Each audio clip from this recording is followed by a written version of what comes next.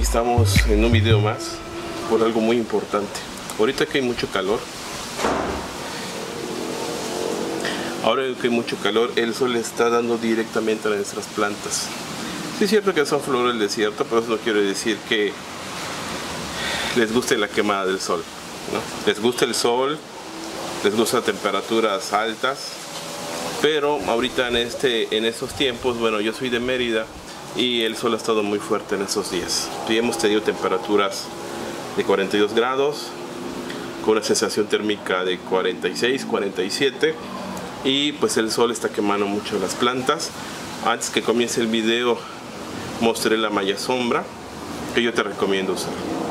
Como te decía, sí es flor del desierto, pero hay que cuidar que no hayan quemaduras. Cuando tú expones una, una raíz, es muy probablemente que si le da el sol directo pueda quemarla. Si tú ves esto en tu raíz, en tus plantas, ten cuidado. Eh, ahorita lo que hice, hoy me tocó estar este, trasplantando y me topé con esto. Ahorita si se dan cuenta, raspé la corteza y al raspar la corteza se ve verde. Eso quiere decir que nada más la, quemadura está por aquí, pero no ha, no ha entrado más. Aquí igual se ve así como oscuro, raspé la corteza y se ve verde. Aquí, si se dan cuenta, acá hay unos polvitos. Acá se veía oscuro como aquí. Esta mancha de café que la estuve raspando como hace ratito. Y afortunadamente solo fue un susto. Si se dan cuenta, hay, hay manchitas de este lado. Ya había empezado a oscurecerse. Este vengo de la pudrición. ¿Qué pasa? Que cuando está muy fuerte el sol, les decía, y le da directo a la raíz, cuando quema la corteza entre la, entre la piel y la corteza, se separa, ¿no? O sea, hay como, eh, se infla y como se separa la piel de la corteza empiezan a brotar bacterias y hongos por ahí que empiezan a proliferarse. Eh, la planta está dañada, está sufriendo de quemadura, se está tratando de compensar, inicia ahí los, este, las bacterias a, hacer su agosto y si no nos damos cuenta podemos perder nuestra planta. Entonces yo lo que te recomiendo es estar pendiente. Si ves estas manchas es quemadura y lo que te recomiendo es poner una malla sombra o cambiarle de lugar. He visto muchos videos o amigos que exponen el caudex. Si se dan cuenta, esa es una hermosa planta. Es un hermoso caudex. Y esta planta sí tenía varios meses sin sembrarla porque estaba buscando un traste especial.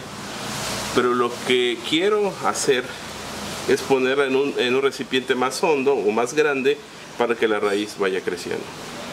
De esta manera, pues vamos a seguir teniendo raíces interesantes. Y te decía que he visto eh, a otras flores del desierto o adeniums que los exponen así pequeñitas y nada que mostrar, ¿no? Las tienen y porque son un poquito así como pelotitas, las sacan y nada más ves el, el caudex como un balón de fútbol, ¿no? Peloncito el pobre. Y todavía se la rasuran y se estresan las plantas. Eh, yo lo que te recomiendo es que si no hay mucho que mostrar en tu flor del desierto, no la estreses.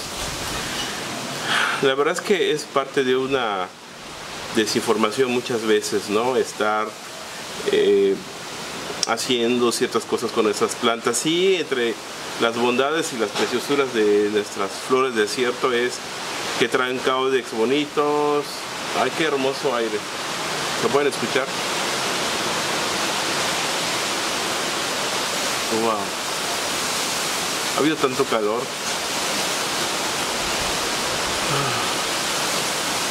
Que podemos respirar. Y lejos de cancelar la transmisión o la grabación, les hago partícipes conmigo. Disfruten el aire. Planten un árbol o planten muchos. Entonces, eh, exponen el caudex y les digo, no hay mucho que mostrar. Yo lo, yo lo que te, recomendaría es crece tu planta, fertilízala, abónala, cuando ya rompa la maceta, cámbiale otra. Y esto es paciencia, esto es más que un hobby, es conectarse con la naturaleza. Entonces no tengas prisa por exponer tu cabres. ¿no? Esta planta, les decía, ya está conmigo hace 7 años y para la belleza que soy. Y lo hubieran visto con sus flores rojas y ha ganado algunos premios. Y, bueno, el mayor premio son sus flores, ¿no? Entonces, eh, bueno, resumiendo, es usa malla sombra si hay mucho sol. Si ves quemaduras de este tipo, atiéndela, muévela del lugar. Eh, si ves alguna sospecha que puede haber una podrición en este daño, pues raspa tantita el cabeza así, apenitas, no, no tienes así, o con tu uña le haces y se ve verde y no se ve negro, adelante. Como ya la raspé, esta va a estar en observación a que se seque la herida. Lo que sigue es ponerle canela muchas veces. Algunos he visto que le ponen miel. No sé si traiga hormigas. Pero creo que le puedo poner miel a ver qué pasa.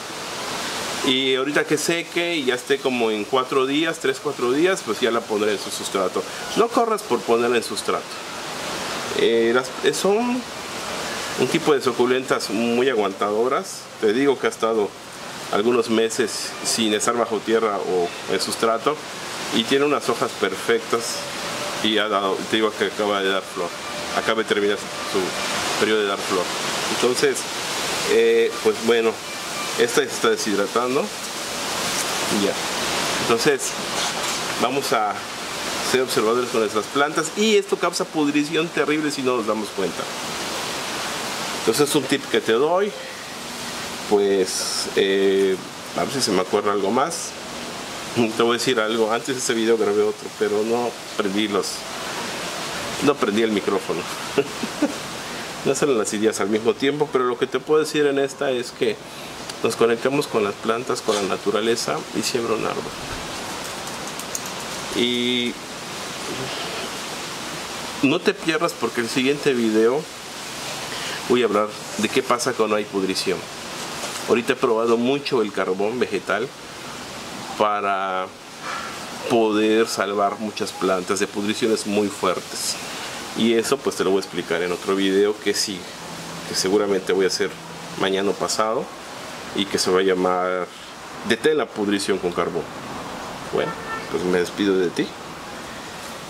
Y te deseo lo mejor, no te olvides cuidar tu planta, fertilizar tu planta, poner buen sustrato. El sustrato actual que estoy llevando es eh, hoja de tamarindo porque como viene pues pequeña pues aunque la mojes si usas una hoja normal pues va a guardar humedad o agua no la hoja de tamarindo un amigo me recomendó este uso tierra este orgánica tierra ahorita estoy usando un fertilizante este ecológico o orgánico que se llama bokashi este, si puede le pongo perlita y pomes para que esté airado. No le pongas este, gravilla por la parte de abajo de tu maceta porque la gravilla cuando estás regando se compacta y pues deja, ya no deja pasar el agua y eso puede causar una pudrición.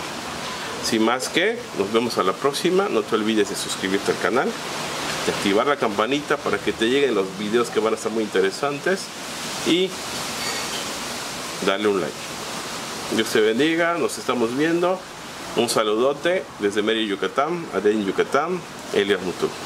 Hasta la próxima.